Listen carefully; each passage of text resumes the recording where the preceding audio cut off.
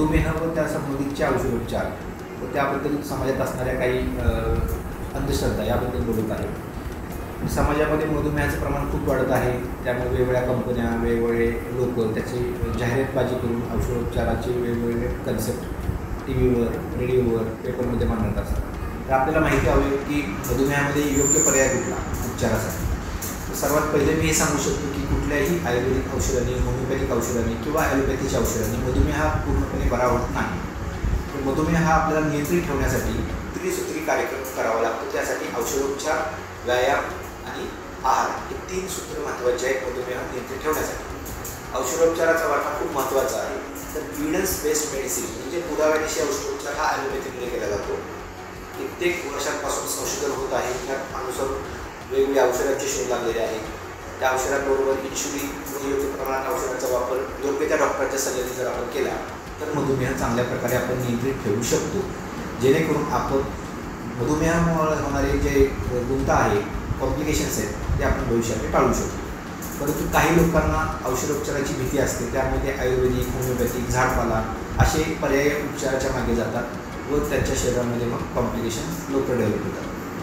त्यामुळे माझी अशी समाजाला विनंती राहील की त्यांनी योग्य त्या डॉक्टरांकडून योग्य त्या प्रकारे विज्ञान विज्ञानावर विश्वास ठेवून औषधोपचार घेणे गरजेचं आहे.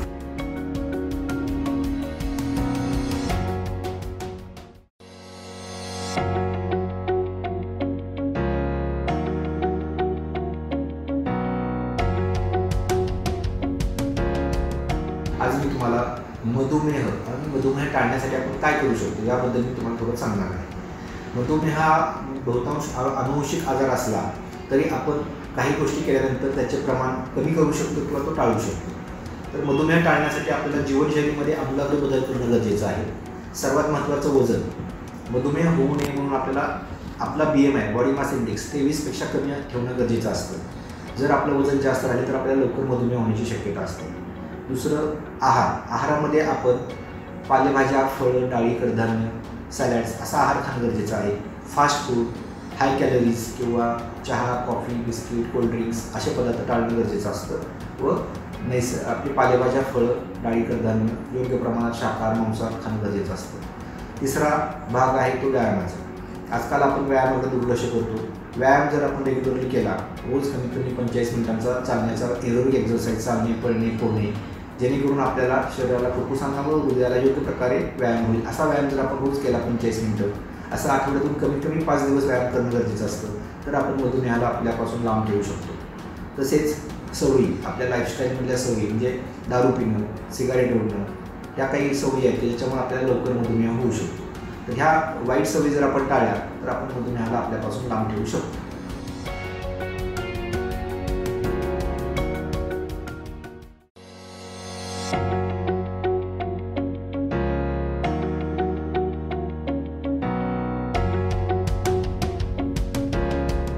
आज मी तुम्हाला गर्भधारणा व मधुमेह याबद्दल बोलणार आहे.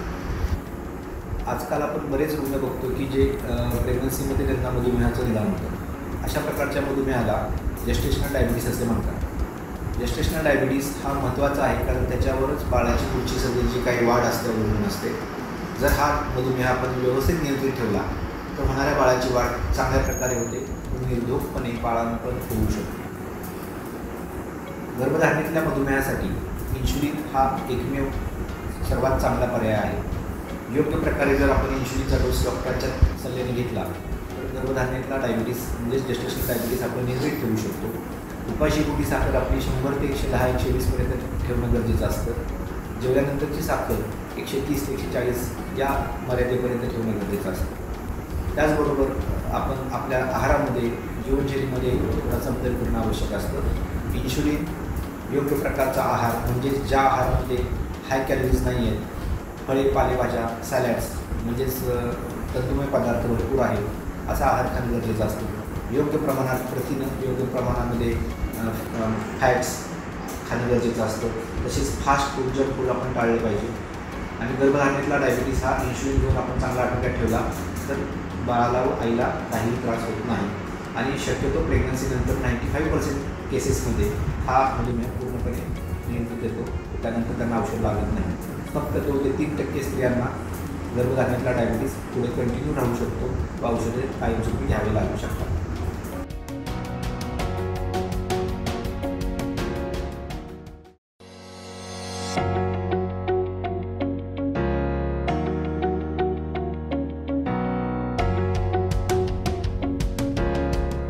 आज मी तुम्हाला अनुवंशिकता व मधुमेह याबद्दल काही माहिती सांगणार आहे. आपल्या सर्वांना माहीत आहे की अनुवंशिकता हा एक फार महत्त्वाचा घटक आहे की जो डायबिटीजसाठी कारणीभूत आहे. फक्त अनुवंशिकता हा एक घटक नसून काही वातावरणातील इतर घटकही त्याला कारणीभूत ठरतात. असे कितीतरी रुग्ण आढळतात की ज्यांच्या घरामध्ये कोणालाही मधुमेहाचे अनुवंशिक हिस्ट्री किंवा इतिहास नाही आणि तरी देखील त्यांच्या घरामध्ये मधुमेहाचे नवीन रुग्ण आढळतात. असे का घडते? तर ऐंशी टक्के केसेसमध्ये जरी अनुवंशिकता हा महत्त्वाचा मुद्दा असला तरी काही केसेसमध्ये वातावरणातील घटक जसे की प्रदूषण आपण जे फास्ट फूड खातो ते ओव्हरवेट वजन जास्त असणे तसेच जे रासायनिक खतांचा जो वापर होतो शेतीमध्ये त्याचा अन्नपदार्थांवर होणारा परिणाम त्याद्वारे शरीरावर होणारा परिणाम. ताणतणाव शहरीकरण दिवसभरामध्ये होणारं आपलं जे सिलेंडरी लाईफस्टाईल हे सगळे घटक आहेत जे वातावरणातले की ज्याच्यामुळे मधुमेहाचे प्रमाण वाढत चाललेलं आहे. त्यामुळे आपण आपली ही मधुमेह कमी करण्यासाठीची जीवनशैली बदलली पाहिजे ताणतणाव कमी केला पाहिजे. अनुवंशिकता आपण बदलू शकत नाही पण वातावरणातील हे जे घटक आहेत की जे आपल्याला मधुमेह निर्माण करण्यासाठी महत्त्वाचा वाटा उचलत आहेत ते कमी करण्यासाठी आपण प्रयत्नशील राहिले पाहिजे.